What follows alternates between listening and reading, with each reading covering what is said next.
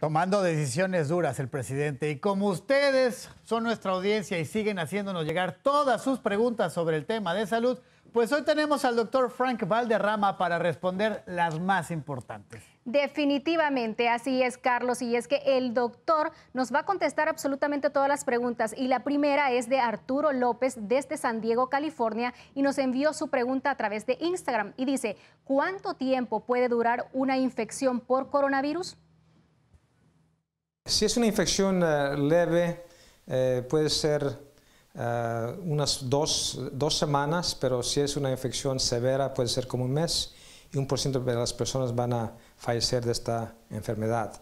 Así que los síntomas leves vienen siendo moquera, nariz tapada, dolor de garganta, dolor de cabeza, dolores musculares.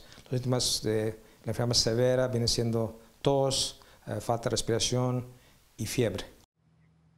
La siguiente pregunta es una, es una pregunta muy interesante y es desde Nueva York. Antonia López pregunta también vía Instagram, una vez que te da el COVID-19, ¿creas anticuerpos para que ya no te vuelva a dar?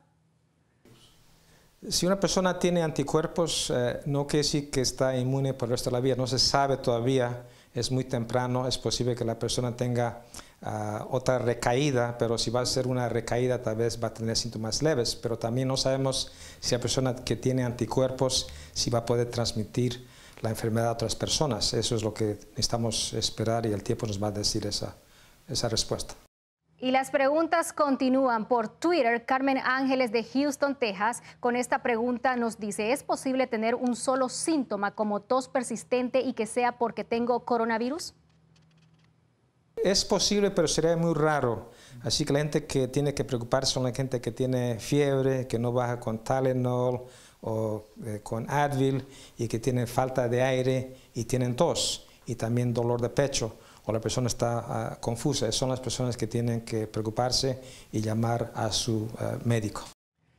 Y también por Twitter, Juan Palencia desde Aurora, Illinois, se cuestiona esto. ¿El COVID-19 se puede contraer por el aire que respiramos?